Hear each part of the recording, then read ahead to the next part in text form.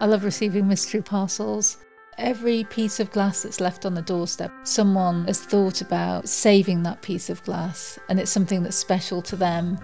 I've always enjoyed being creative. It was difficult being one of three girls, so I went down a more scientific route. I studied geology at Edinburgh. During the course, talked a lot about sand, silicon dioxide, rocks like obsidian, which are essentially glass. Glass is very controversial in itself, so there's a lot of arguments and a lot of discussion over four years. And I thought anything worthy of arguing about for four years is something I wanted to learn more about. Using glass now, I can analyse the glass. So if I purchase glass, I can look at the firing schedules, I can look at the exact chemical composition. But the glass that I use, be it car windscreen glass or television glass, I don't know the chemical composition. So I'll use my geology background with that to analyse the exact chemical composition of the glass. I've been working with glass for 25 years now. Casting for me works beautifully because I can interweave all the things I'm desperately passionate about. I wanted to try and choose a figure that was going to unite people, so I chose the robot figure. You look at the figure, it draws you in, and you can ask questions about the glass itself and then actually ask questions about the future of glass. What's going to happen to it if we put it in the bin, if we put it in the recycling? So I wanted to try and engage with people, irrelevant how old they were, you know, two or 102, to ask questions about something that we use every day. It's ubiquitous. We look through it with spectacles, we look at television screens, it's in medical vials, it's all around us all day, every day.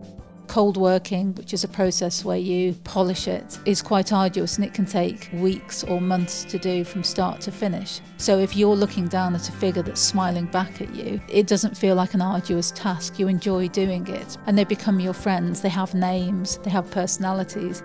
You'll use a coarse 80 grit, so it might be on a reciprolap, it might be on a diamond disc, it might be on a hand pad, and you'll go through all the stages of grit, all the way to pumice and cerium. So it's a very, very high polish. What's rewarding to me is how you can show something which is broken, but then polish it highly to that museum grade quality. That process using recycled glass is very much a labour of love.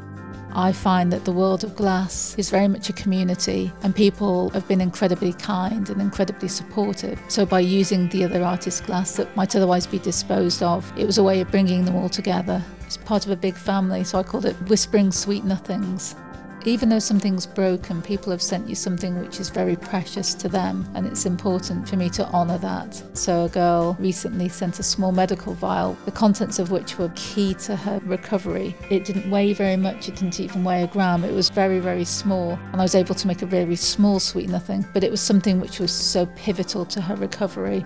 I love working with the impossible, facing challenges. I really, really enjoy that. So that the more complicated it is and the less I know about the glass, the more passionate about I am of trying to turn it into a sweet nothing.